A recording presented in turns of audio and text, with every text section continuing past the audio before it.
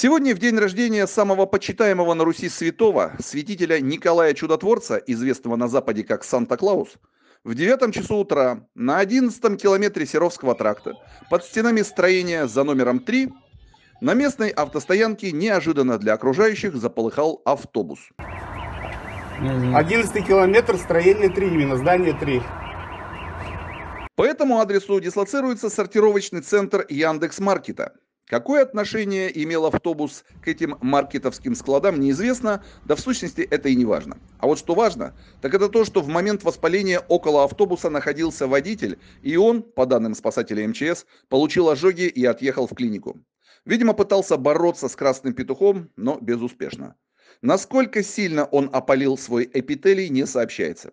Как сказали в ГУ МЧС, в 8.32 утра пожарный огонь локализовали, в 8.43 открытое горение автобуса было полностью ликвидировано.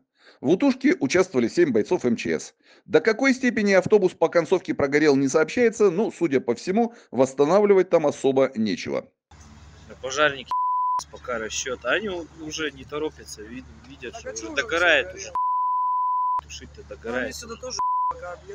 Соседние болиды на парковке не пострадали, потому что местные работники консолидировались и, сообща все легковушки, непосредственно примыкавшие к эпицентру воспаления и стоявшие чуть подаль, вручную откатили.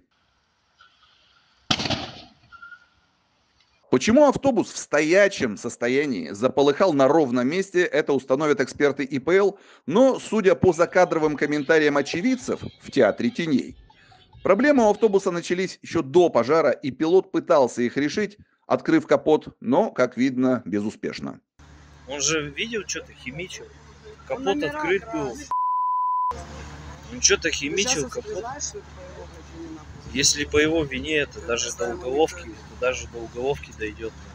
Тем более куча свидетелей. Лучше свидетелей одной, представь,